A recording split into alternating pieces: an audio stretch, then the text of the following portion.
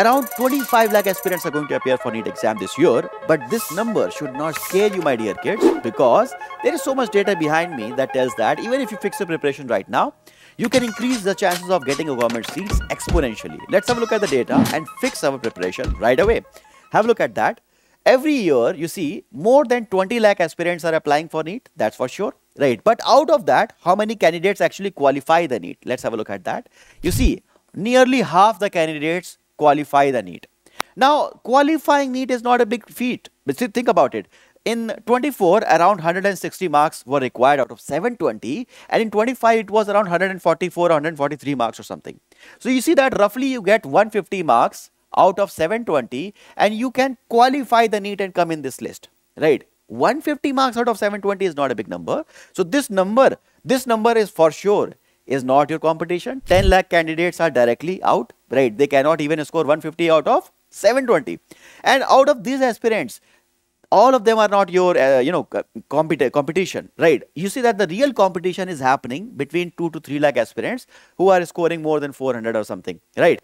So you see that out of 2 3 lakh aspirants you need to get a government seat how many government seats are there you see in the in the country around 3 400 government colleges are there and combined around 55000 seats are there uh, in total right so see that 2 3 lakh aspirants are serious and 55000 government seats are there. So roughly between 5 to 6 serious aspirants one will get the government seat for sure. And if you add up all the government seats like private colleges and all so there are 1.28 lakh but leave that number. We want this much right? We want this one right? We are aspiring for this one. So between among five to six people, five to six disciplined people, if I am one, if I am number one in that little group, I can get the government seat. So think about it. In your class, are you the most disciplined kids? In your friend circle, are you the most disciplined kids? You just have to aspire for that. If somebody, if if your known person is doing something, you try to just, just do that. Uh, 5% more than him, right? So that is going to, uh, you know, serve a real thing, right? You cannot compare with somebody who li who's living in a different state, right? But the person who is in your class, try to do better than that, right? Okay. So once you do that, you can get uh, you can be the one of the most disciplined kids. Now think about it. What number you should keep in your brain, right? How many marks you should aspire for? That is decided by the previous year data. Have a look at that. There are two ways or two modes of counseling, right? If you uh, want to get a college that is in your own state, you will get the benefit of a state quota. But if you live in one state, let's say in Uttar Pradesh, and you want a college in Kerala, let's say, okay, so now you will not get the benefit of a state quota, right? 85% seats are deserve, uh, reserved for the people of uh, that state only, for Keralites only in that college, right? You want a seat in Kerala's college, right? Okay. So 15% seats of that college are still available for the entire country. That is called All India quota. But that requires more marks because you do not get the state quota benefit, right? So you see that if you are applying for any college uh, outside your state, right? So for that, you need a higher marks uh, between 640 to 680 range. That is 650 is a good spot. And for a state quota, you will get benefit, of course, because the state quota benefits are there. So 590 to 620 marks are there. Uh, you know, if you get that much, uh, you get a college in your state, right? So you see that uh, 650 is a very good spot. You can get any premium seat with in the entire country and between 600 and 650 you can get the uh, state government seat as well right so if you have that that particular number in your brain you can directly aspire for that particular thing. My dear aspirants, right now, how can we fix our preparation so that we can get that much? Let's have understanding of that. There are preparation approaches. There are three preparation approaches. The first one is the to master everything, right? It tells us to master everything and then go for the exam. This is something you should not do. Because many candidates who want to master everything, they give so much time to one chapter so that they have to leave the syllabus. And when you leave the syllabus in the NEET exam, you cannot score good marks, right? Think about it. So the other approach is scoring more 650 plus. So these are these approaches for those kids who are already getting 500, 550 consistently in their mock test, right? Because these are the kids who will define uh, the ranks and everything, right?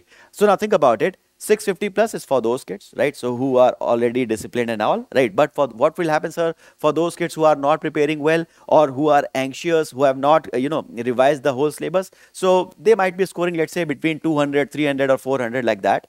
They should go for the score maximization, right? Do not keep this number in your brain for this year. Go for the score maximization. Otherwise, you will not be able to manage the anxiety all the time, right? So you see that if you are scoring let's say 200, do not drop the weapons. Many aspirants who are planning to drop you do they do that. They drop the preparation weapon right now and they say that even I, i'll start next year right? There are there's so much burden this year i'll start next year. But what happens my dear kids? They do not able to score 200 they start from zero next year and they have to travel all the way till 650 right? So generally they are not able to do that do that. They take a drop again. So you don't do that mistake. You still have four five months. So go for score maximization go from 200 to let's say 450 480 whatever score maximum score you can get try and get that right? Then if you are taking a drop the remaining journey is much smaller and much easier till 650 right? So this is the one thing that i'll tell you. Even if your preparation is not good for now do not drop your weapons. Do not say that i will prepare next year. Prepare in a way that you are aiming for maximizing your score right? Let's move ahead and talk about the next thing which is the time saving notes strategy. So whenever you want to appear for NEET exam and whenever you want to solve the you know PYQ questions, you will see that questions are easy, but uh, you know maintaining the speed is not easy. So maintaining it for maintaining a speed, you cannot waste time remembering the formulas and all these things, right? So for that, I'll suggest you uh, make short notes and revise everything multiple times. And in the short notes, what you should what should you keep?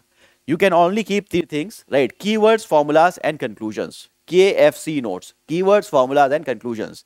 If you make KFC notes, you will find that you can minimize every chapter in two, three pages. And by doing so, you can achieve anything you want, right? So you can also get the notes uh, by the end of every class that I'm giving you on this channel, right? And uh, not just notes, or you can get the short notes and handwritten notes as well, right? So try and use that as well, right? So this is it for now, right? I'll see you there in the next video with few more insights on the NEET exam. Till then, take care. Bye-bye.